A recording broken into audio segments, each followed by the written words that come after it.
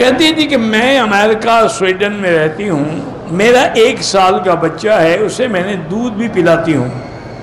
हमारे पास रोज़ा जो है 22 घंटे का होता है, रोज़ा रख सकती हूँ। देखें अगर आपको रोज़ा रखने में बच्चे का दूध कम हो जाता है,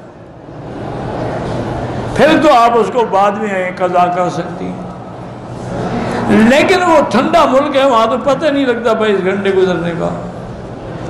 तकलीफ़ तो वहाँ होती है जहाँ गर्मी हो। ठंडे मुल्कों में तो भूख तो लगती है, प्यास तो लगती ही नहीं है। तो इसलिए हिम्मत यही करें कि रोज़े रखें आप। अल्लाह बच्चे का दूध भी इंशाल्लाह पूरा कर देंगे। और फिर ये है कि अगर आदमी रखना चाहे ना जी तो बच्चे कम अज कम आठ आठ, दस दस घंटे सोते हैं। तो 22 घंटे में 10 घंटे सो गया तो बाकी तो 12 घंटे बचेंगे। तो रोजा रखने की कोशिश कर। कफारा नहीं है। कफारा उनके लिए है जो ऐसे मरीज़ हैं, बूढ़े हैं कि कभी रोजा रख ही नहीं सकते।